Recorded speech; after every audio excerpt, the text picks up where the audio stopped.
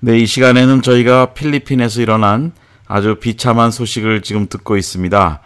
어, 너무나 급한 소식이고 안타까운 소식인데요.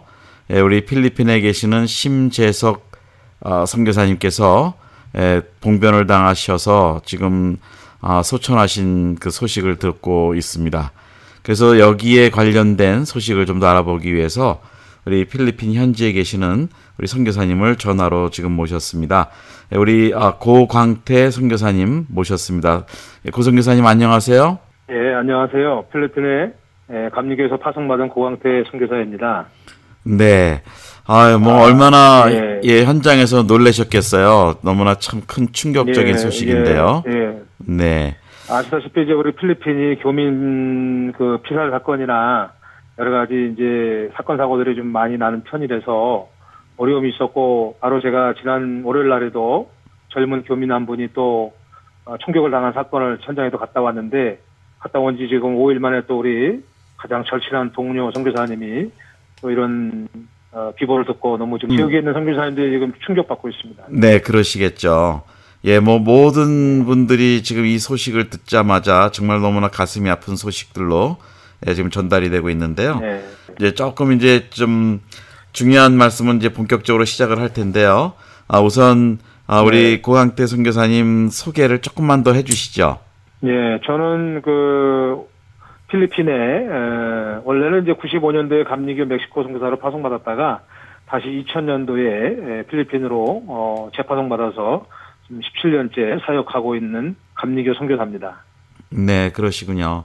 또 거기 그 우리 필리핀 한국 선교사 협의회 거기서도 네. 또 중책으로 봉사를 하신다는 말씀을 들었습니다. 예, 저희 필리핀의 필리핀 전체 선교단체, 한국에서 아, 샌딩바디가 있는 선교단체를 중심으로 아, 모인 그 선교단체 협의회가 있는데, 예, 제가 금년에 에, 부회장직을 어, 좀 맡고 있습니다.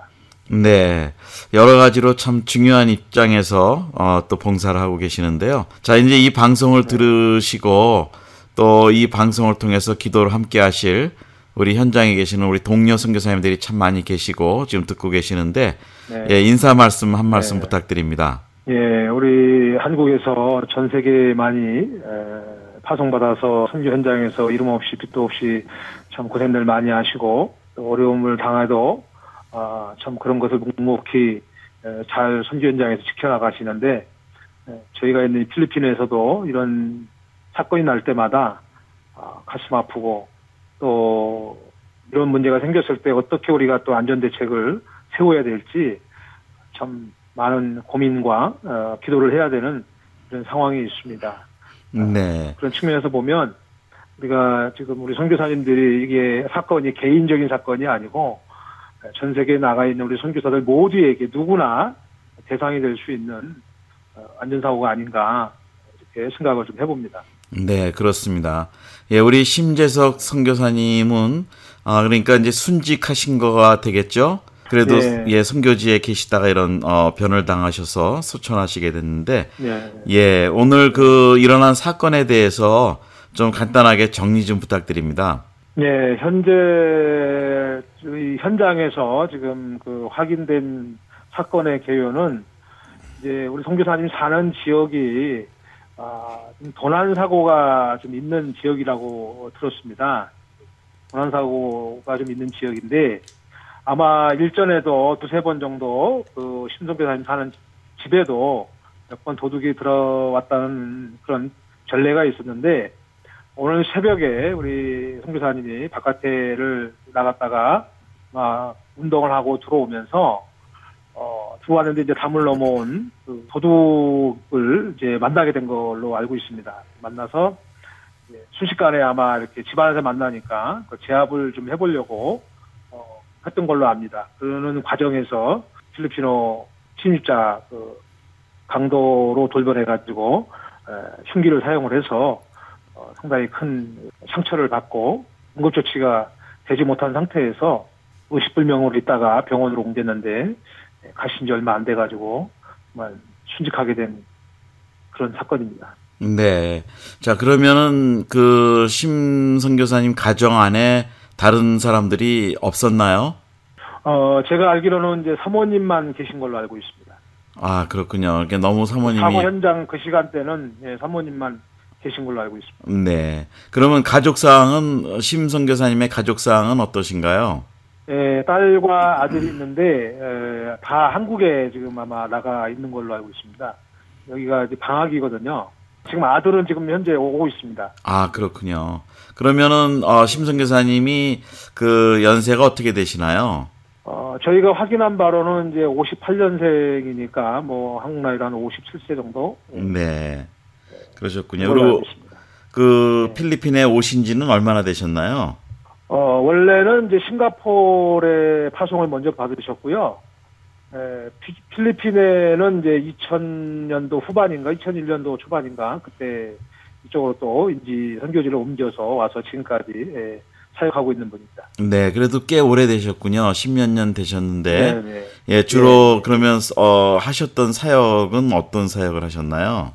어, 제가 알기로는 이제 현지인들 그 아마 그 지도자 키우는 일들, 그다음에 이제 언어 그 따갈로그 그 언어 같은 거 이제 번역을 통해서 또 성경 공부 가르치고 뭐 여러 가지 일을 하셨는데 사실은 이제 중간에 우리 선교사님이 건강에 좀 이상이 좀 있었어요. 네. 방광암인가 하는 그런 그 질병이 찾아와서 한국에서 어, 치료를 받고 어, 조금 장기간 요양을 하고 이제 다시 이제 건강을 회복하고 들어와서 사역을 지금 다시 시작한 지 이제 몇 년 안 됐는데 열심히 하시고 계셨는데 이런 예, 어, 변을 당했습니다. 아유, 이거 더 마음이 안타깝네요. 그 몸이 안 좋으셨던 예, 것 예, 회복하시자마자 다시 선교지로 귀임하셔서 예, 그래서 선교를 진행하셨는데 참 이런 일을 당했네요. 예, 그, 예, 그 몸이 안 좋으실 때도 철수한 것은 아니고, 이제 계속 그 선교지를 사랑하는 마음으로 조금 건강을 회복하면 선교지에 와서 이제 또 사역을 하고, 또 가서 이제 또 정기 점- 검진 받고 오고, 또 치료 받고, 이러- 이러면서도 선교지를 떠나지 않았던 그런 아주 동료 선교사입니다. 네, 그러시군요.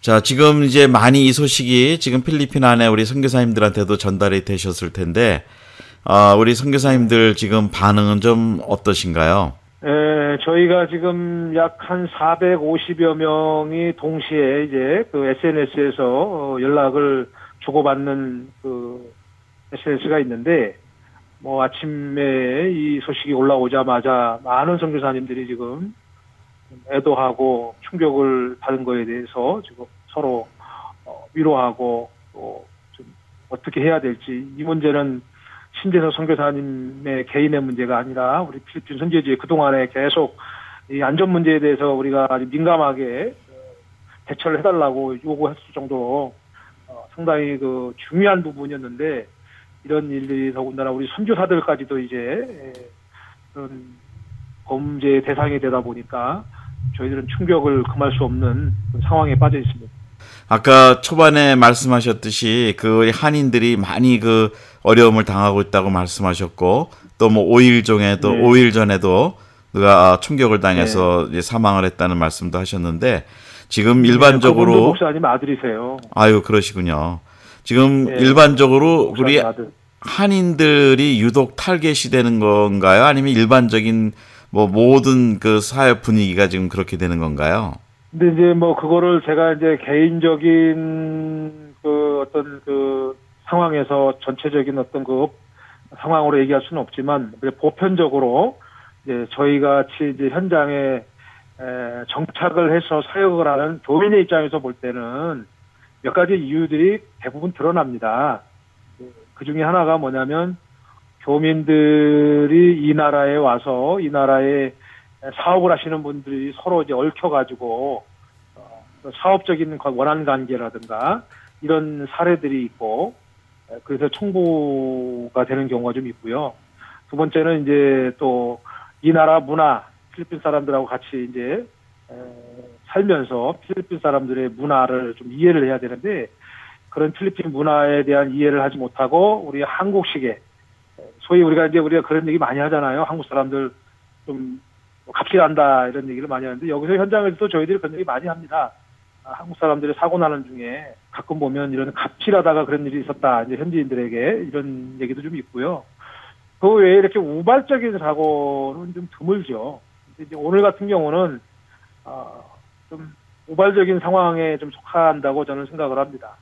네. 보편적으로는 어, 사고가 나는 어떤 그 이유가 좀 많이 좀 있는 사건들이 많습니다. 네.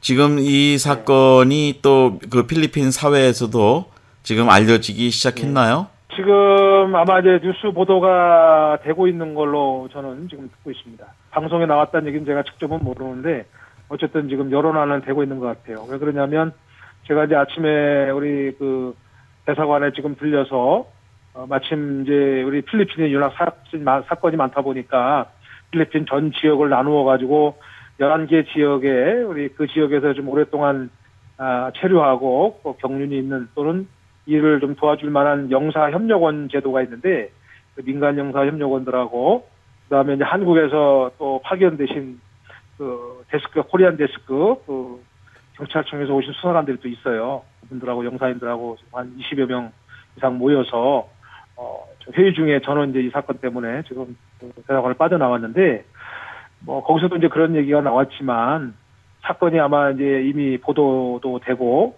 어, 또 한국까지도 지금 이미 보도가 됐다고 지금 이렇게 듣고 있습니다. 네.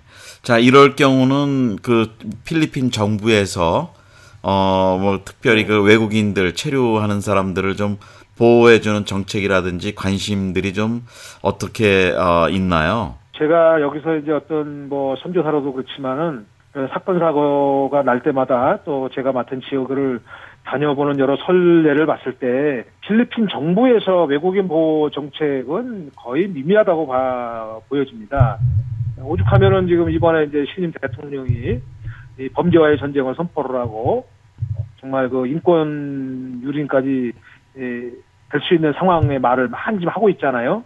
그 범죄율이 높다 보니까 아, 그 범인들 또 범법자들 특히 이제 아주 극한 일을 마약 사범이라든가 이런 극한 일을 한 사람들에 대해서는 강력하게 처벌하겠다고 이제 신임 대통령 되신 분이 얘기를 하고 있는데 저희가 현장에 이렇게 살아보지만 외국인들에 대한 어떤 그 안전에 대해서 이 나라가 아, 자국민들의 안전도 제대로 지키지 못하는데 외국인들 안전까지 기대한다는 것은 저희들에게 피부로 와닿는 조치는 없는 것 같습니다. 한인들이 자체적으로 이 문제를 굉장히 강력하게 우리 대사관을 통해서 요청을 하고 있는데 그런 외교적인 어떤 그 힘도 어, 우리에게 그런 큰 도움을 좀 많이 못 주고 있지 않냐 이렇게 우리가 생각을 좀 하면서 살고 있습니다. 네 그렇군요. 필리핀 자체가 그러면 일반 어, 시민들도 이 항상 이런 위험에 이렇게 많이 노출이 돼 있나요? 이제 알다시피 이제 필리핀의 범죄 노출 중에 하나가 이 나라가 총기가 있는 나라 아닙니까? 이제 그런데 불법 총기가 이렇게 사제 불법 총기가 100만 정이 넘는다고 그래요. 그래서 가끔 이런 사고를 나는 걸 봐도 불법 총기에서 사고 나는 경우가 많고요. 그 다음에 이 나라가 또 마약도 상당히 그 많이 마약에 연관이 되어 있는 사건들이 많거든요. 또 세계 보도된 것처럼 이런 아주 멕시코라든가 이런 중남미 쪽에 연결된 그런 마약 조직도 있다고 할 정도로 마약과도 연관된 부분이 좀 있습니다. 그러면 뭐 우리 어 지금 한인 선교사님들이 거기 계시는 그 네. 수가 꽤 많은 거로 알고 있는데 어느 정도 계신가요? 네, 전체적인 통계를 내긴 좀 어렵지만 그 우리가 두 가지로 이제 구분을 해서 보면 아, 한국에서 정상적인 선교사라고 sending body가 있는 교단이나 선교 단체에서 어, 나온 선교사들은 저희들이 파악해서 한 1200가정 정도 됩니다.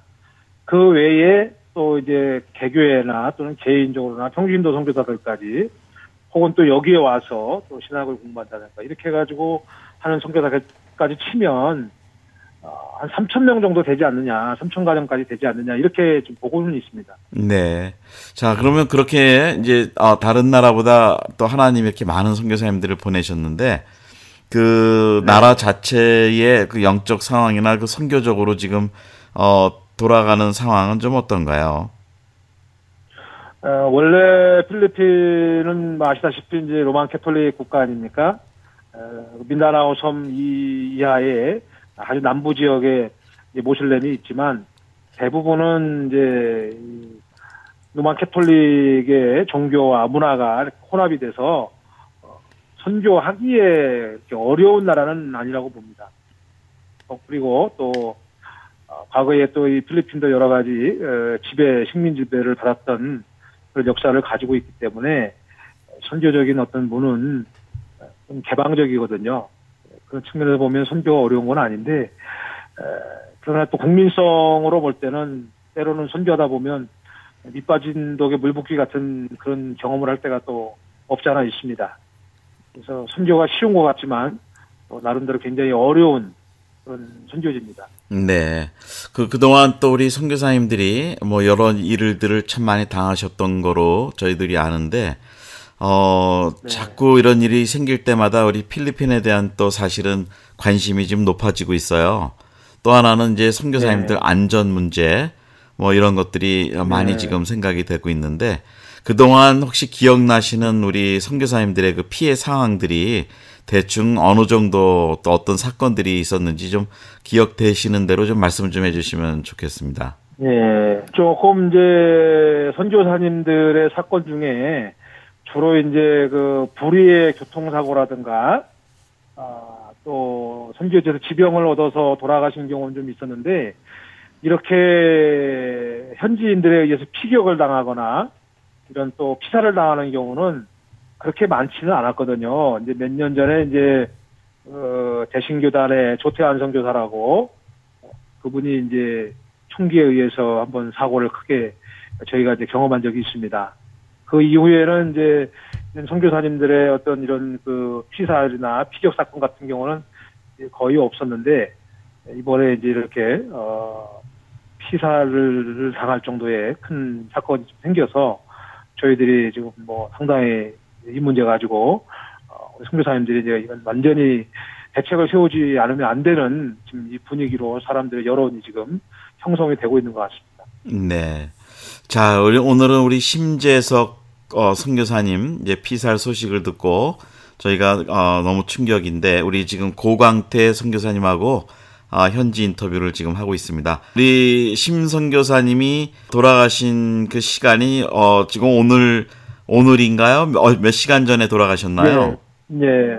아, 오늘 여기 현지 시간으로 오전 8시경으로 지금 어, 보고 있습니다. 네, 그러니까 아직 10시간이 채 안 된 상황이군요.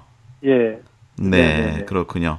자, 그러면서 또 우리 동료 선교사님들 좀 말씀도 아까 그 카톡이나 이런 데서 좀 나누셨다 그러는데 일반적으로 우리 선교사님들이 뭐 충격은 아주 뭐 심하실 텐데 좀 그래도 좀 어떤 말씀들을 좀 나누신 내용들을 좀 소개해 주실 수 있을까요? 네, 몇 가지를 제가 이렇게 쭉 보니까 그 나오는 것 중에 하나가 뭐냐면 일단 가까이 계셨던 분들 그분이 살았던 지역의 선교사님들의 이제 이야기들이 이제 올라온 걸 보면 어쨌든 같이 동료 이웃으로 있었던 선교사님 그다음에 심성이 참 좋으셨던 원하지 않고 좋았던 선교사님인데 너무 일찍 이런 일을 당했다는 거에 대해서 좀 놀라움을 금치 못하고 있고요.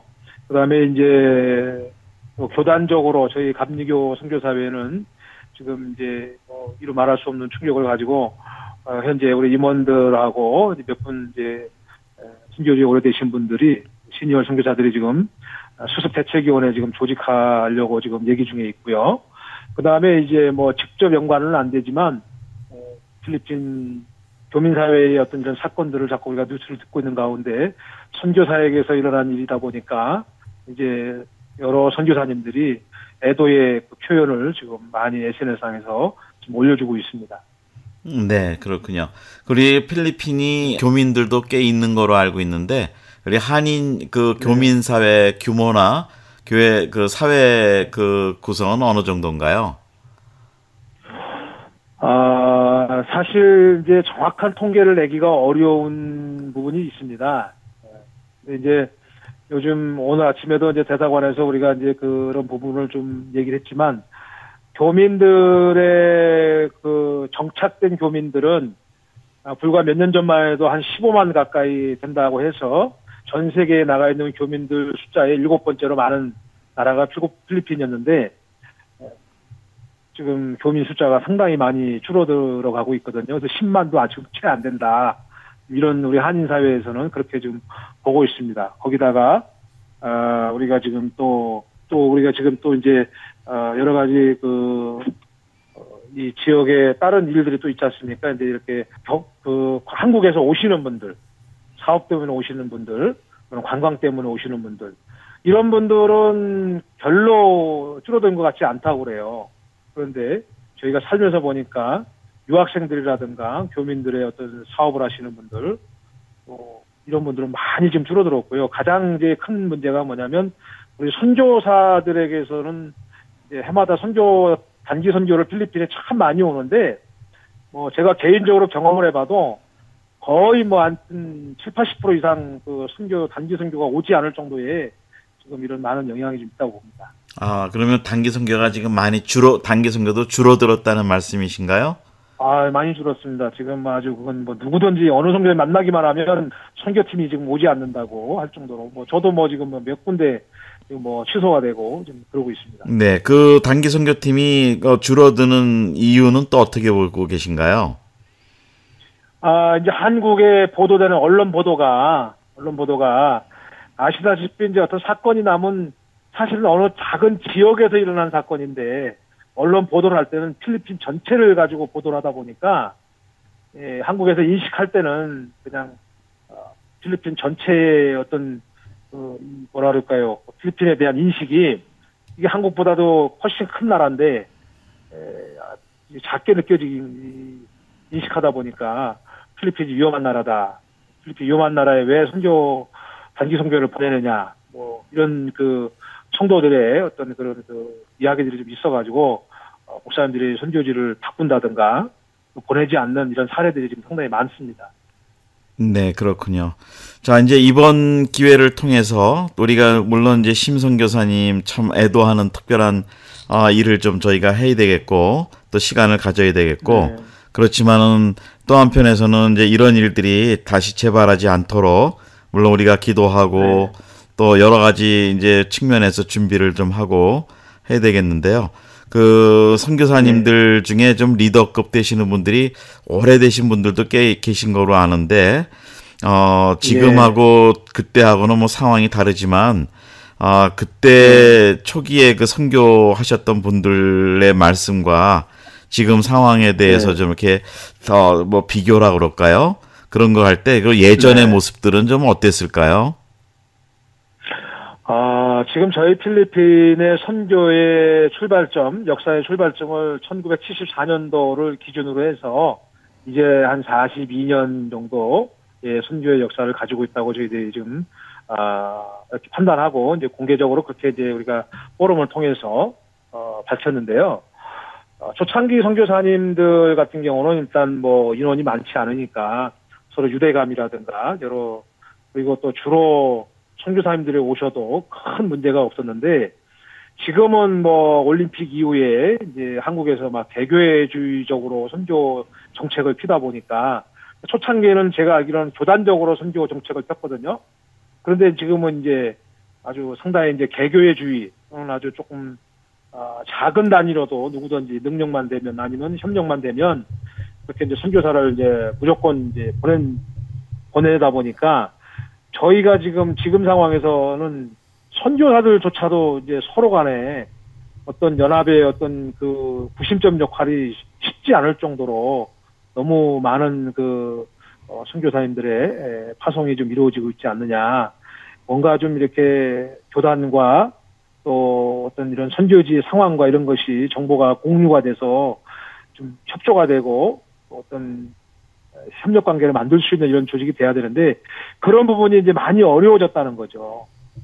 많이 어려워졌다고 좀 생각을 하고 제가 실질적으로 17년짜리 있지만 여러 가지 그 2000년 전과 이후를 비교해봐도 어, 그런 부분이 좀 많이 있습니다. 그래서 특별히 이제 교민들이 선교사만 많아진 게 아니라 필리핀이 뭐 영어권이고 또 은퇴 후에 살기 좋다라고 하는 여러 가지 정보들이 이제 공유가 되면서 어, 한때 이제 교민들이 많이 유입이 되면서 걸러지지 않은 측근되지 않은 이런 부분들까지도 이제 있다 보니까 어, 지금은 굉장히 그 선교사님들의 연합운동조차도 쉽지 않은 분위기라고 저는 느끼고 있습니다. 네, 그렇군요.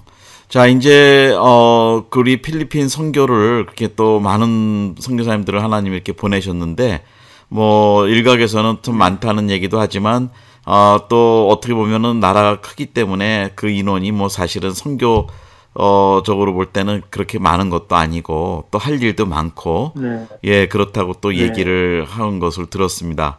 그리고 동시에 또 필리핀 사람들이 영어를 하기 때문에 그 이슬람권 사우디 아라비아라든지 예, 이런 데 또 많이 네. 가서 일도 하고 예, 크리스찬들이 예. 예, 그런 얘기도 들었는데 예, 예. 좀 이렇게 어려운 어, 우리가 비보를 들었지만 또 그 안에 계시는 선교사님들은 내 소망 가운데 일을 하실 텐데 그 필리핀 네. 선교의 그 전망은 또 어떻게 보시는지요? 아, 지금 이제 아시다시피 필리핀이 그 정치적으로 이렇게 자꾸 이제 민주화 과정 People Power 이후에 에, 계속 부정부패를 어 이제 국가 정책적으로 대통령들이 많이 애를 쓰고 있는데 아마 그런 부분에 계속 그 지도자들이 이제 어떤 안전 대책 문제를 해결을 해준다고 하면 어, 외국인들이 또 아니면 또 우리 같이 이제 선교사들이 선교하는 데에 어쨌든 좀 안전하게 할 수 있지 않겠느냐 이런 생각을 좀 해보고요. 이번 대통령에 대한 기대도 어, 또 많이 좀 하고 있는 상태입니다. 그분이 예, 특별히 그런 부분에 관심이 많아서 에,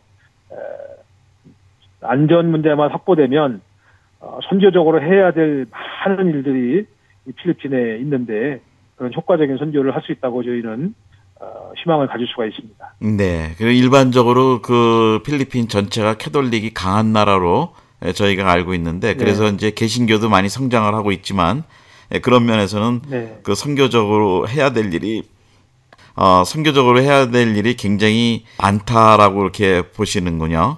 그렇죠. 왜냐하면 이제 아직까지도 이 필리핀의 그 인구 구조를 보면 빈민 그다음에 빈민층이 상당히 많은 퍼센트를 차지하고 있는 이 피라미드 구조이기 때문에 그 빈민층, 저소득층 또는 완전히 뭐라 그럴까요? 그 이제 정말 홈리스 같이 이렇게 있는 분들까지도 보면 선교를 해야 될 부분들이 상당히 많습니다.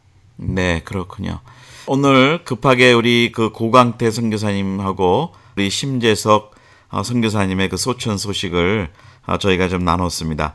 자, 이제 어떻게 우리가 좀 어, 기도를 해야 될지 예, 좀 기도 제목 좀 말씀해 주시면 감사하겠습니다.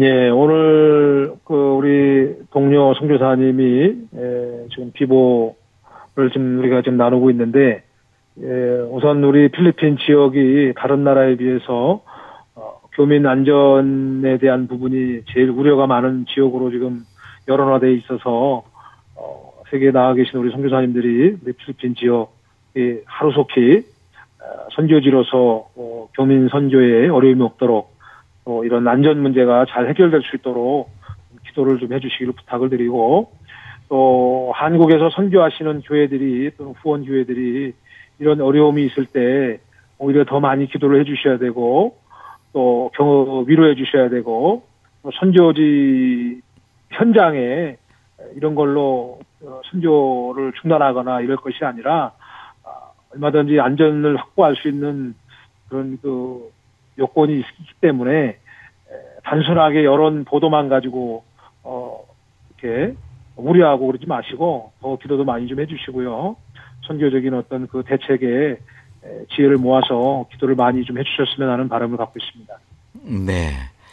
예, 오늘 또 고강태 선교사님 참 아, 귀한 말씀으로 이렇게 현장 소식을 전해 주셨는데요. 이 방송을 듣고 계시는 또 우리 많은 동료들이 있습니다. 전부 다 우리 모두가 지금 이 염려와 걱정과 또 충격에 있는데 마지막으로 인사 한 말씀 부탁드립니다. 예, 우리 귀한 선교 어, 어, 채널을 통해서 어, 청취해 주시고 특별히 오늘 이 필리핀의 이 어려운 소식을 들으신 모든 분들께서 우리 필리핀 위해서 어, 기도 많이 해주시고요.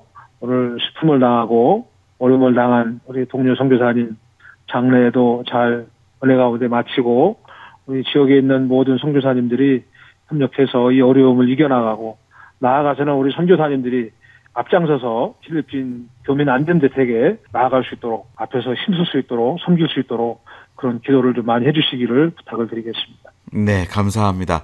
혹시 계속 이런 소식을 좀 업데이트하고 듣기를 원하는 분들은 우리 고광태 선교사님께 좀 연락을 해도 되겠죠? 예, 예, 예. 예, 그러면 뭐 괜찮으시면은 이메일 번호나 전화번호 좀 알려주시면 예, 우리 많은 분들이 좀 예. 바쁘시겠지만 연락이 갈 수도 있는데 예. 좀 알려주시겠습니까? 음, 예, 현장에서 바로 지금 확인하고 할 수 있는 거는 아무래도 SNS 카톡이 있는데요. 카톡 아이디가 아마 빨리 연락이 될 겁니다. 제 카톡 아이디가 D A S M A K M C입니다. 다스마 KMC 이렇게 되어 있습니다. 네, 다스마 KMC. 예, 알겠습니다. 예. 그러면 어, 우리 그 고광태 선교사님은 고광태 이 이렇게 그 네. 한글로 쓰시는 거죠? 네, 네, 네. 네, 알겠습니다. 예, 하여튼 어 우리 또 귀한 소식 주셨고 또 어떻게 보면 어 우리 선교사님이 지금 그 현장의 얘기들을 전달해 주심으로써 예, 많은 분들이 아 지금 이제 기도에 본격적으로 동참하기 시작할 거라고 저는 믿습니다. 하여튼 선교사님 힘내시고요. 네, 감사합니다. 네, 우리 또 그 사모님에게 정말 깊은 하나님의 위로가 함께 하시기를 저희도 기도하겠습니다. 예, 계속 저 네, 네, 업데이트 감사합니다. 되는 소식을 제가 연락을 또 드리면서 예, 제 2의 3의 소식을 네. 계속 좀 어, 선교사님으로부터 듣겠습니다. 예, 선교사님 네, 예, 네, 수고하셨습니다. 예. 예, 안녕히 계십시오. 네, 네, 감사합니다. 감사합니다. 예.